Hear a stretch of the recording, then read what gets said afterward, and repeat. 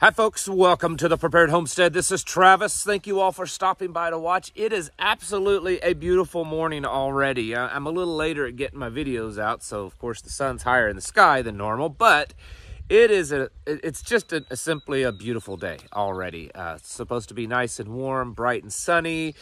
Uh, just the kind of day that that most of us would absolutely enjoy which is nice. It's nice to have the final day on this planet the final day for humanity uh, to be such a beautiful day around here. I, I, mean at least that's what some people are saying. Uh, today is the eclipse day and um, according to some the world is coming to an end.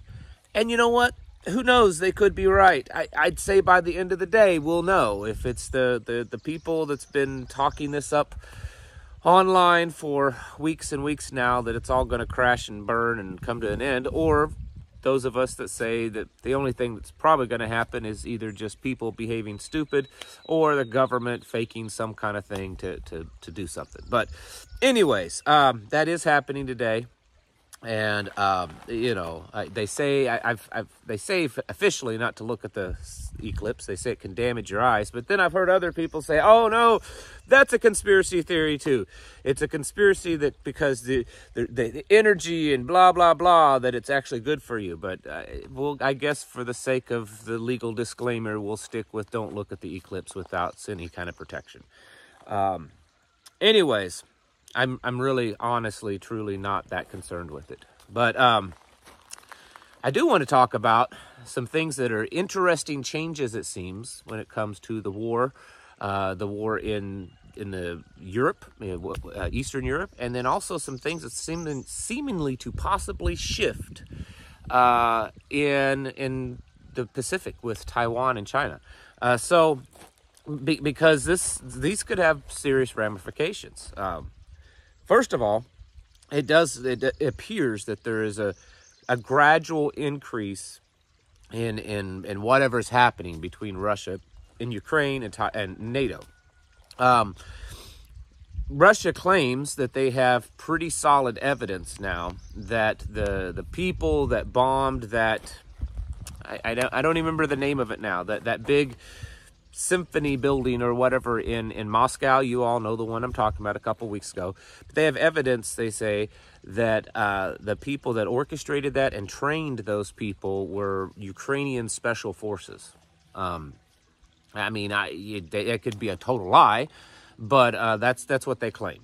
And so if if they feel that they have solid enough evidence, that just gives them even more fuel to, to retaliate even stronger against Ukraine. So there's that, um, and, and that could be an escalation.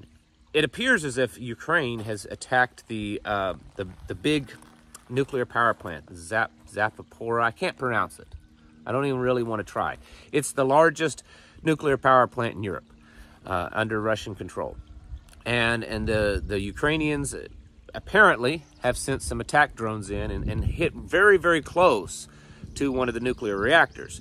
And it's damaged it. And and there's there's this worry that there could be some you know there's a potential for meltdown. I don't know that it's a high probability but but there's a potential there. Uh, and it's it's even so much so that the the un's uh, commission on nuclear energy has has called for a you know, safe zone at nuclear power plants, to not be firing bombs and drones near or around nuclear power plants because it's extremely dangerous, and it's it, it's it's possibly entering into that that neighborhood if things go south of nuclear war, and the reason being if if Ukraine strikes a nuclear power plant, so maybe they haven't dropped a nuclear weapon, but they cause it to have a meltdown and then a big radiological disaster. Um, could that be enough for Russia to say, okay, well, we'll cause our own radiological disaster by dropping a nuke on your head? It's quite possible. In fact, that's been the discussion, it seems, behind the scenes in Russia. So, are we headed getting closer to a nuclear war scenario? Maybe not us directly, but at least on this planet. Possible. Uh, now, Ukraine is denying that they dropped the, the drones on, you know, so maybe it's the CIA. Maybe the CIA put those drones out there. I don't know. Um, but the point is, is that things are continuing, continuing to escalate between Russia and Ukraine. uh, which has been going on all along. Uh, Zelensky's now back to to begging from United States Congress members and stuff, saying that if if we we as an Americans, if we don't continually fund, excuse me, I was up half the night last night and uh, on a call, and I'm just really congested. I was out and all that kind of stuff. Anyways, um, that if we as Americans, if we don't continue to fund this war for for the Ukrainians, that that Ukraine will lose, and so that he's been you know hitting that that beating that drum again that, that we've got to send them billions, tens of billions of dollars uh, over there to to do that. Uh, now. Europe, many of the European countries are saying that they're just going to take the money that was seized. This came out this past week, which in my opinion, I could definitely see that being an escalation. So if you remember, when the start of all this war happened, um, NATO seized, NATO countries seized a lot, like I think it was in the hundreds of billions of dollars of Russian money that was in, you know, banks and stuff that NATO had access to. And they seized that, and that money's just been sitting there. And it's something like a half a billion dollars or more. And so now they're saying that they're going to use that money to, to win the war and to rebuild Ukraine. They're going to take Russia's money and use that. If that happens, um, that could definitely be a, a, serious escalation. So that's the kind of stuff that's happening all the while you've been focused on the eclipse for the last few days. Um, now let's let's flip flop to the other side of the planet. Yes, the, the big round globe. I know I just made a lot of people upset at me. Boy, my email inbox is going to blow up today. Um, anyways, yes, the big round ball, other side of it, uh, Taiwan, China. so, um, our government met with Chinese government this week, had some big top level meetings, and some things have kind of changed in the, the rhetoric, at least a little bit. Number one, to start off with, um, the United States announced a very large loan uh, that's going to be given to a company to develop um, microchips facilities. Now, if you if you guys remember, know that's part of the big reason why Taiwan is so critical. I mean, yes, their their location is strategic, but also they're they produce the vast majority of, of microchip processors on the whole planet. I mean, it's like 80, 90% of them. It's it's very high. And so if China gains control of that that, you know, island, then they control all the microchip processing for the planet, which, as we know, is is critical with all of this World Economic Forum stuff and everything. You know, the digital revolution that's that's taking place. So um, it's interesting that all of a sudden the United States is is dumping billions and billions of dollars into us now producing microchips, almost like we're trying to, you know, create Plan B, maybe.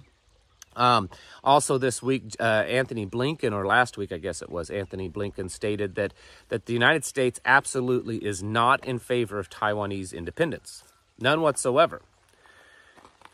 And so it's starting to look like, possibly, and I know this is a very thin possible, that the United States is trying to set up a situation to where we can kind of back out and, and, and not really fight China for Taiwan that we can say, well, we've got our own microprocessor stuff being built.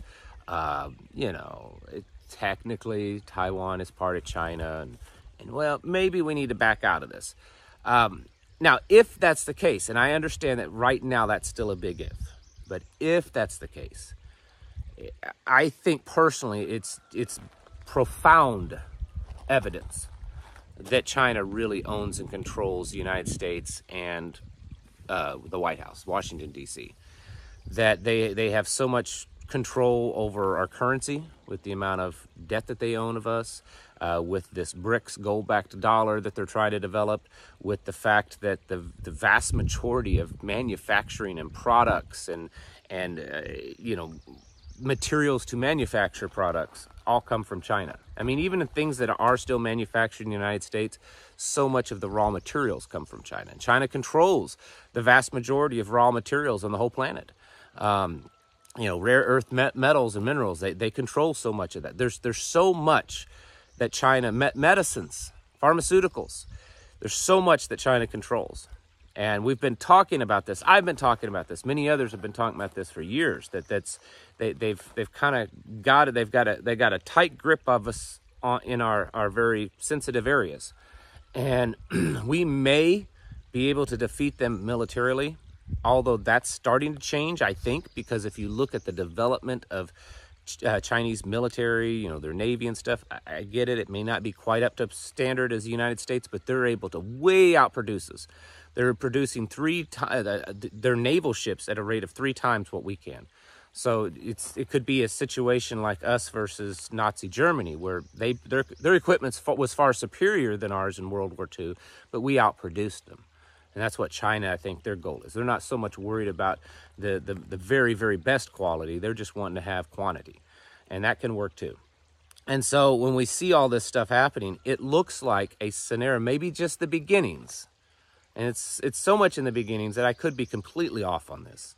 But it does look like the beginning of a scenario is being set up that where America can kind of back out, back down, and and potentially avoid some kind of massive World War III scenario with them and just kind of pass off the you know baton to China. And China now becomes the new world leader which is where most of us think that this has been headed anyways.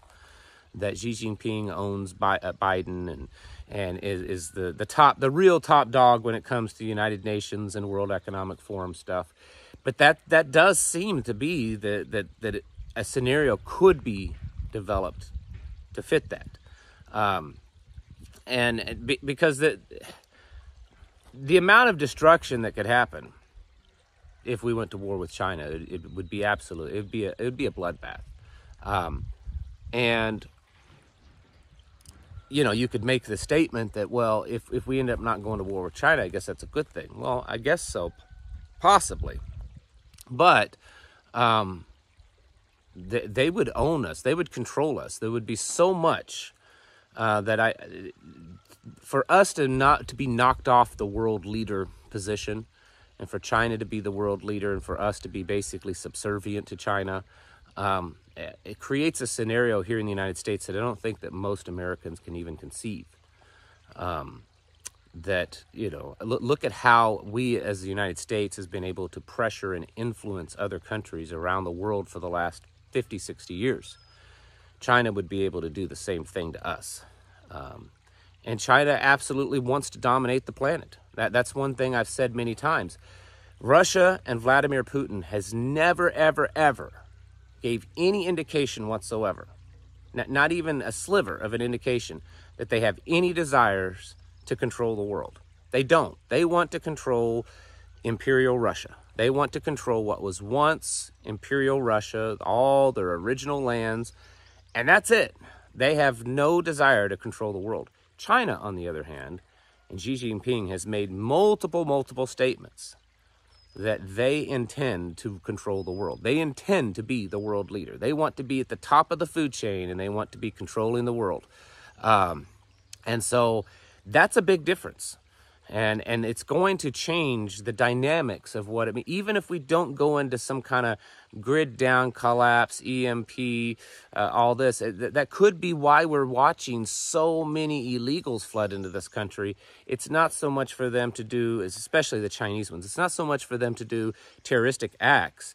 It may just be so that they can just kind of overwhelm us and and bring us down to a third world level so that China rises up and is the new the new boss.